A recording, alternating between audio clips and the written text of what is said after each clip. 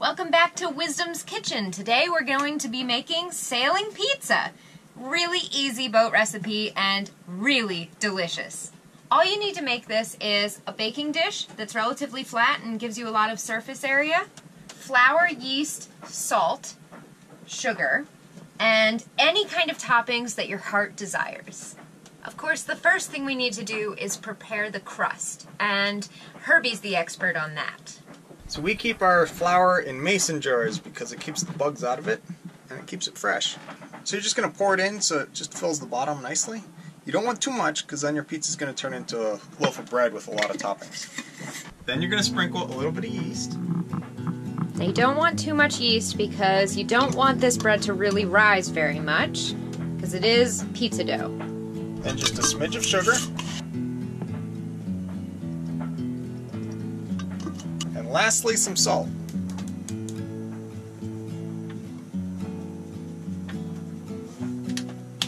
So now we're going to add the water. And if you notice, I measure nothing. So what you do is you just want to know the ratios. A lot of flour, a little bit of yeast, a small amount of sugar, and then a tiny amount of salt. And I always taste the dough before I call it a day because uh, whatever the dough tastes like is what your pizza crust is going to taste like. So I'm just adding just a smidge of water, just a little trickle, just to get this all mixed up and make it into dough.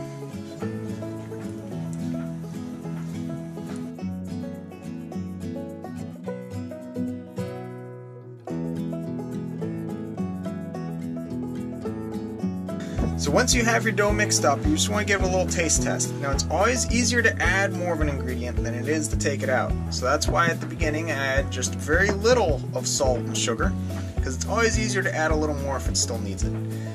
So you're just going to knead it up until it uh, actually gets less sticky. So right now, it's stuck to your fingers.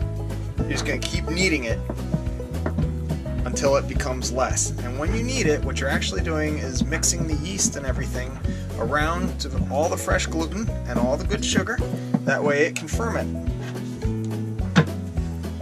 You just want to pick up any little stragglers that might be left behind somewhere too. I usually knead for between 5 to 10 minutes, so it's a good bit of a workout. You'll notice the change, like it goes from this like goopy goober stuff to dough. So at this time, it's starting to look a lot more like dough. So you just got, just get it off your fingers pretty much. And then you're just gonna leave it balled up in the middle of the pan. Get off. Get off.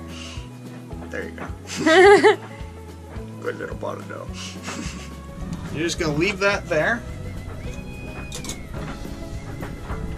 And you're just gonna cover it with a towel. So at this point we have our little dough ball covered.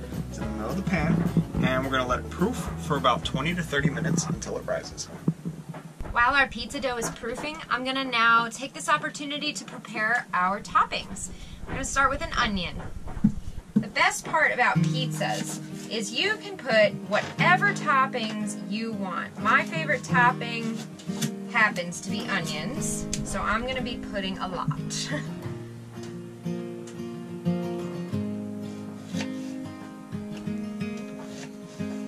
read somewhere that if you chew on your tongue while cutting onions, it helps, and it actually does. So we've got our onions ready. I'm just gonna put them off to the side. I just use half an onion because there are only two of us and it's a really small pizza. I always like a meat on my pizza, and in the past we've done little pepperoni slices, we've done slices of sausage, but today the meat we have on the boat is spam. So we're gonna do a spam pizza. Now the key with this is, since it's a pizza, you're gonna be cutting really thin slices so it doesn't take away from the rest of the ingredients.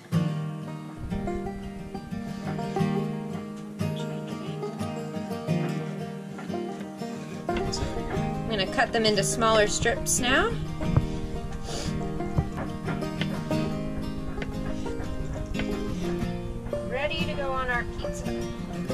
Herby likes mushrooms on his pizza. I do not. So we're only going to be putting mushrooms on half of the pizza But since these mushrooms are cut pretty thickly, I'm just gonna make them a little thinner.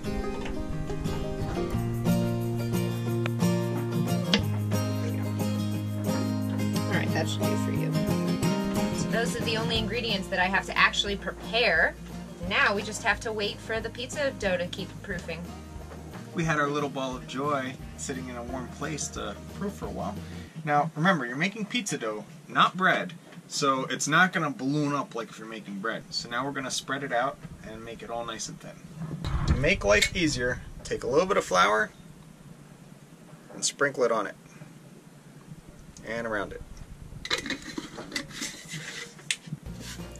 So that flour I sprinkled in is so that it doesn't stick to me because otherwise it'll stick to me and I don't like that.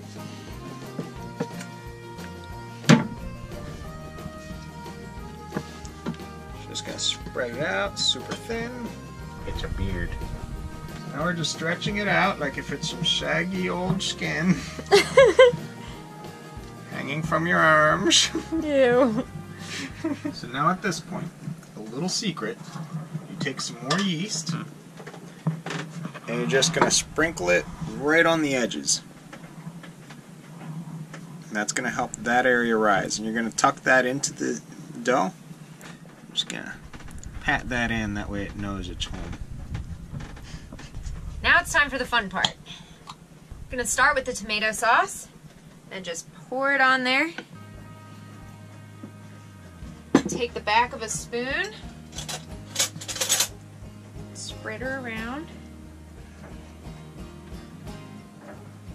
Next comes the most important part, in my opinion, the cheese. We're just using four quesos. I'm gonna sprinkle it lightly around and make sure it's nice and even.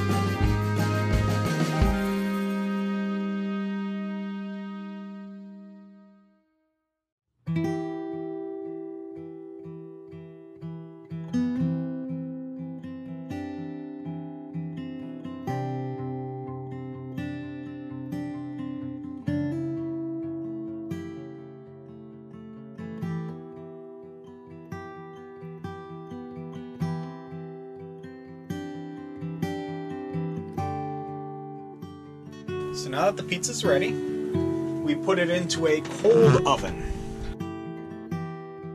So the reason we don't preheat the oven is preheating the oven takes fuel. And we don't have much fuel, and the more we burn preheating is the less we have to burn while cooking. So we put it in to a cold oven with the heat, with the fire on high, and as the oven warms up, it also gives the dough another chance to proof. Just rise just a little bit. So that lets it rise just a little before it gets so hot that it kills all the yeast and just bakes it.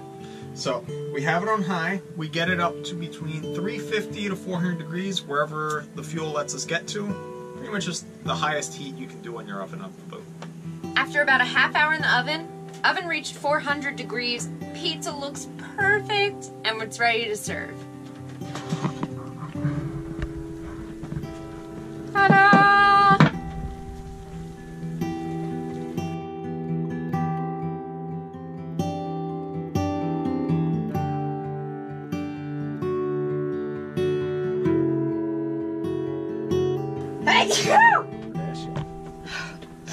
I'm allergic to amazingness. If you have a favorite pizza recipe that you'd like to share with us, please do in the comments section down below. And don't forget to subscribe to the channel and like this video.